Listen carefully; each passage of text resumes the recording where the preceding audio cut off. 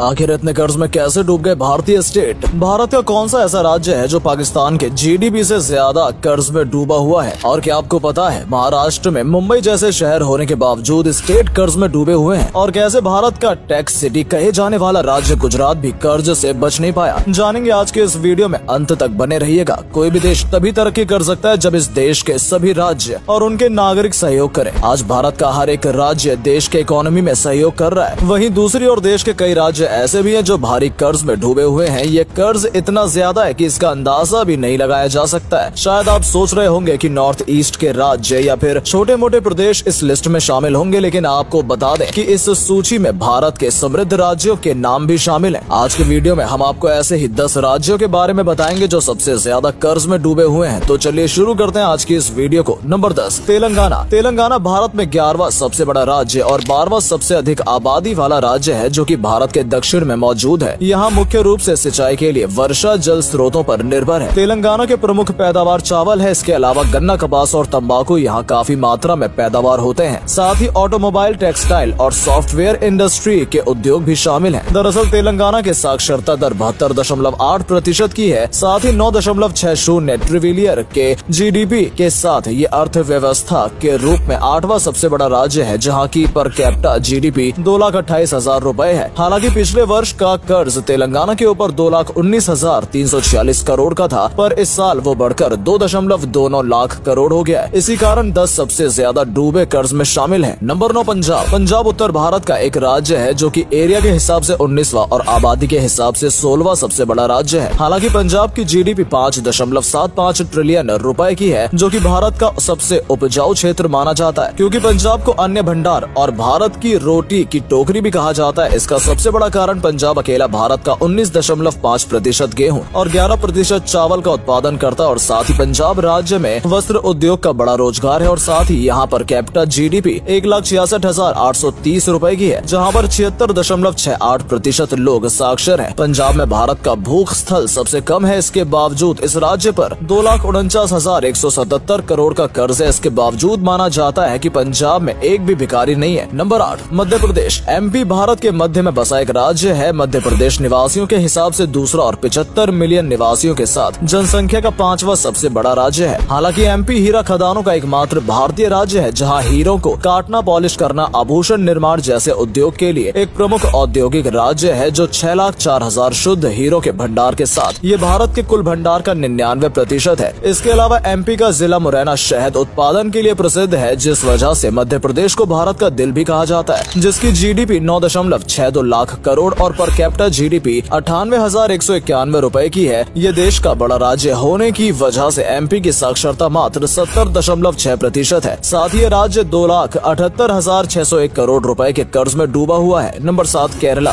केरला भारत के दक्षिण पश्चिम मालवा तट पर स्थित एक राज्य है जो की एरिया के हिसाब से इक्कीसवा और तीन दशमलव चार आठ करोड़ की आबादी के साथ तेरहवा सबसे बड़ा राज्य है, जो की पिछले साल एक दशमलव सात एक लाख करोड़ के कर्ज में डूबा था। पर महामारी और बंदी के कारण इसका कर्ज और बढ़कर तीन लाख करोड़ का हो गया है, जिसका जीडीपी 2020 के अनुसार आठ लाख करोड़ का है और इसकी पर कैपिटा दो लाख चार हज़ार एक सौ पाँच रूपए के साथ नवी सबसे बड़ी अर्थव्यवस्था वाला राज्य है। साथ ही छियानवे दशमलव दो प्रतिशत सबसे ज़्यादा साक्षरता वाला राज्य है। इसके अलावा सबसे कम जनसंख्या वृद्धि दर और एक हज़ार पुरुषों पर एक हज़ार चौरासी महिलाएँ का लिंग अनुपात है। साथ ही केरल का समुद्र तट पाँच किलोमीटर तक फैला हुआ है और यहाँ के लगभग एक दशमलव एक मिलियन लोग मत्स्य उद्योग पर निर्भर हैं, जो राज्य की आय में तीन प्रतिशत तक का योगदान देता है। नंबर छह, गुजरात। गुजरात भारत के पश्चिमी तट पर बसा एक राज्य है जो कि एरिया के हिसाब से पांचवा और इकहत्तर दशमलव पाँच मिलियन जनसंख्या वाला नवा सबसे बड़ा राज्य है। पंद्रह दशमलव पाँच लाख की जीडीपी के साथ पांचवी सबसे बड़ी अर्थव्यवस्था वाला राज्य है, जहाँ पर 2020 तक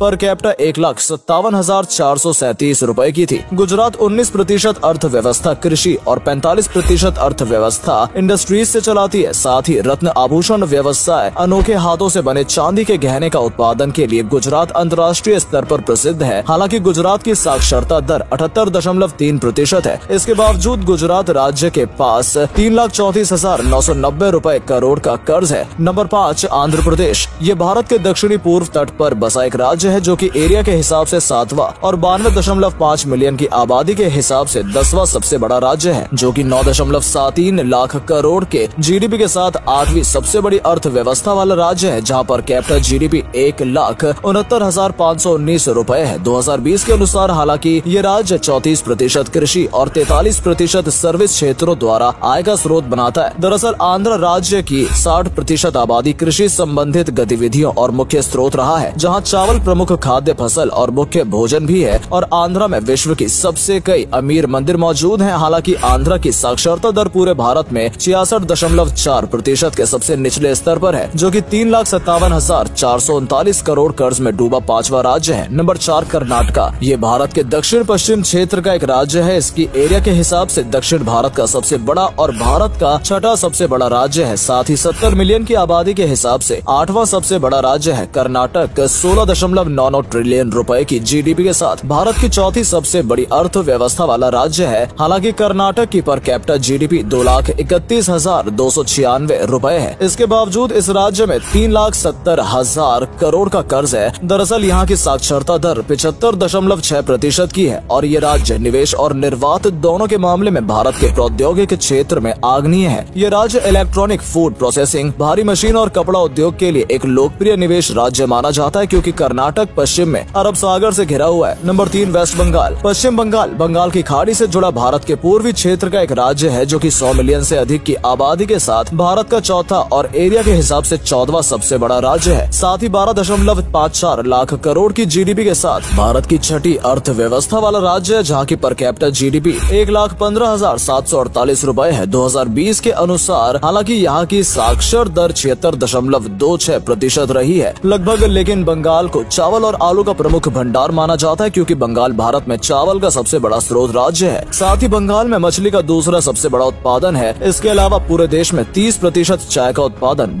2019-20 में बंगाल में हुआ था। इसके बावजूद पश्चिम बंगाल चार लाख करोड़ कर्ज में डूबा तीसरा राज्य है। नंबर दो महाराष्ट्र। महाराष्ट्र भारत के पश्चिमी प्रायद्वीप क्षेत्र का राज्य है, जो की एरिया एक मिलियन की आबादी के हिसाब से तीसरा सबसे बड़ा राज्य है, जो की अट्ठाईस लाख करोड़ की जीडीपी के साथ भारत की सबसे बड़ी अर्थव्यवस्था है, जिसे इकोनॉमी कैपिटल ऑफ़ इंडिया के नाम से भी जाना जाता है। पर दो लाख सात हज़ार सात सौ सत्ताईस रूपए के साथ पर कैपिटल जीडीपी में ये बारहवें स्थान पर है। दरअसल मुंबई भारत का सबसे बड़ा इंडस्ट्रीज़ वाला शहर है, जो कि भारतीय अर्थव्यवस्था में प्रमुख योगदान दे रहा है। साथ ही अंतर्राष्ट्रीय व्यापार, पर्यटन आदि महाराष्ट्र के प्रमुख उद्योग में शामिल है, जहाँ के शहरी साक्षरता दर बानवे दशमलव एक दो प्रतिशत की है। इसके बावजूद महाराष्ट्र पाँच लाख छत्तीस हज़ार आठ सौ इक्यानवे करोड़ के कर्ज में डूबा भारत का दूसरा राज्य है। नंबर एक, उत्तर प्रदेश। यूपी उत्तर भारत का एक राज्य है, जो की एरिया के हिसाब ऐसी चौथा और 235 मिलियन ऐसी ज़्यादा आबादी वाला भारत का सबसे बड़ा राज्य है। हालाँकि यूपी की जीडीपी सत्रह दशमलव नौ चार लाख की है, जो कि भारत की तीसरी सबसे बड़ी जीडीपी वाला राज्य है। भारत जीडीपी पर कैपिटा मात्र सत्तर हज़ार चार सौ अठारह है और यूपी की साक्षरता दर अड़सठ प्रतिशत ऐसी कम है। हालाँकि कृषि यूपी में आदरणीय व्यवसाय है और राज्य के आर्थिक व्यवसाय में महत्वपूर्ण भूमिका निभाती है। दरअसल यूपी अनाज उत्पादन में देश के कुल बीस प्रतिशत की हिस्सेदारी संभालता है। एक रिपोर्ट के मुताबिक, पिछले कुछ वर्षों में यूपी राज्य ने आर्थिक विकास का उच्च दर का अनुभव किया है। एनएसडीपी